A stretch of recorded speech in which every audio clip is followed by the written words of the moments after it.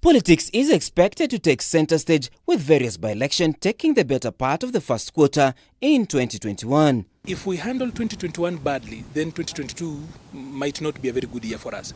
But uh, this year is going to be a dress rehearsal because number one, it's uh, for the first quarter of the year, we have got numerous by-elections. Uh, of course, uh, times have been bad to us as a nation and we've lost a number of leaders.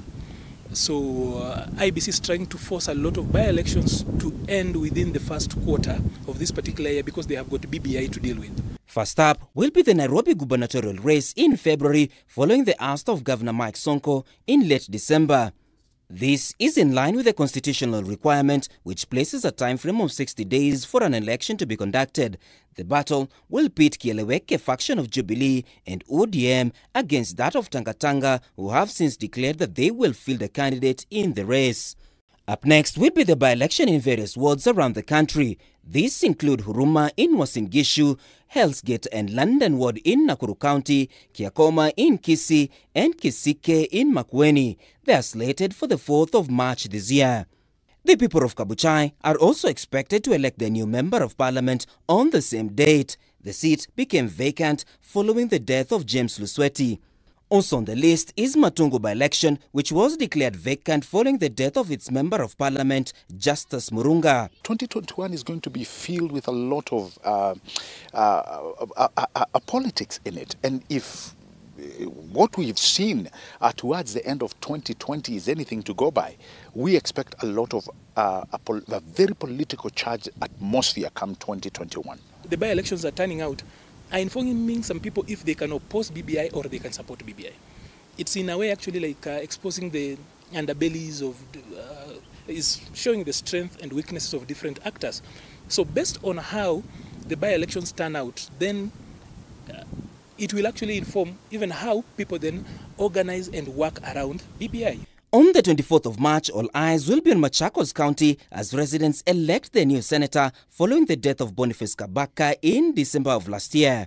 Focus, however, will be on key battleground constituencies in the western region, with analysts believing that it will not be a replica of the Msambweni contest. An independent candidate allied to the deputy president beat ODM in what was thought and understood to be their stronghold.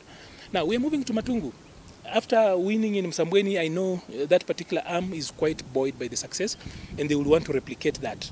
Uh, you know, the Rolling Stone gathers no moss uh, concept. The BBI campaigns are then expected to take center stage immediately after the by-elections. The bill will then be in the August House undergoing debate. The referendum process, which pundits say could take place before June, however, may see major political realignments ahead of the 2022 general elections.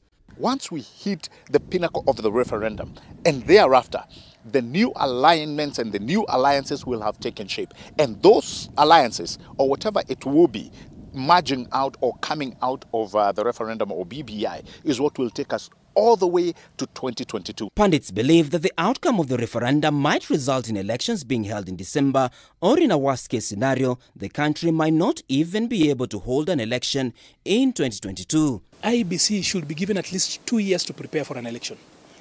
How an IEBC that has just come from uh, uh, BBI and uh, is just worked through the the boundaries review will be ready for elections next year is a question that all of us know that they might not be in a very good position to actually like uh, competently handle the uh, the elections next year. More intriguing is the flexing of political muscles between ODM leader Raila Odinga and Deputy President William Ruto. William Ruto has made clear his intentions to vie for the presidency, with Odinga's options remaining anyone's guess. So at this point, and Raila has, Honorable Raila has known how to play uh, Kenyan politics. That's why I'm saying he's not a politician of being repute. Is that he knows when to he knows when to go for it. All right. So I think the issue we should be talking about is a matter of of, of, of when, not if. So there's still a possibility of having a Kikuyu candidate on the ticket and winning the election. That one we do not know who it is because uh, President, uh, according to the Constitution, the President cannot run again, so his term ends this time round. So far, the clothes are already out and political machination in full gear, with the climax expected with the referendum process. Martin Opiyo, K24 TV.